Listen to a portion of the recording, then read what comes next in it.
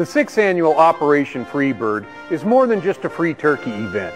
It's about recognizing those public servants who put their community and country before themselves. These law enforcement officers, firefighters, and military personnel, they deserve our respect. We'll honor them with the national anthem, color guard, and flyover courtesy of the Vintage Aero Flying Museum. Join us November 21st and meet the public servants and veterans that make our community great. Happy holidays.